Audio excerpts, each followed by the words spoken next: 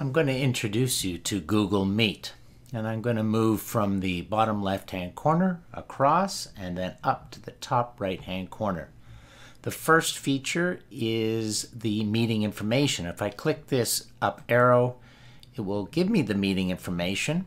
And what I can do is drag over the actual web address, right click, copy, and then send it to anyone or put it in a link so that someone can get to my meeting.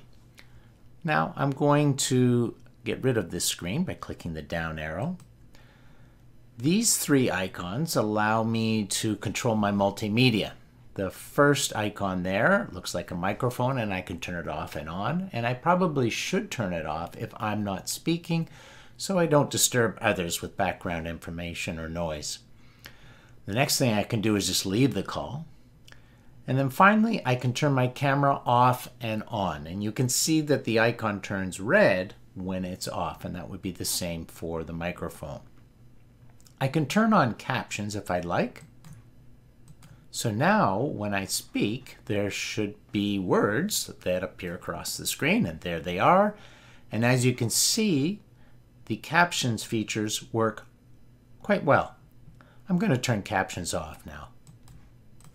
If I want to present something, I click on Present Now, and I can present my entire screen or a window. I'm going to choose a window. And in this case, I'm going to choose this PowerPoint slideshow and click Share. After a few seconds, I am presenting to everyone. And I'll click this icon in the top right hand corner, and that's what they will see and I can go through my presentation on my screen. So I'm moving through here and I can, you can see the slide change. And then when I want to stop presenting, I click on You are presenting and click Stop presenting. These three dots provide some more options.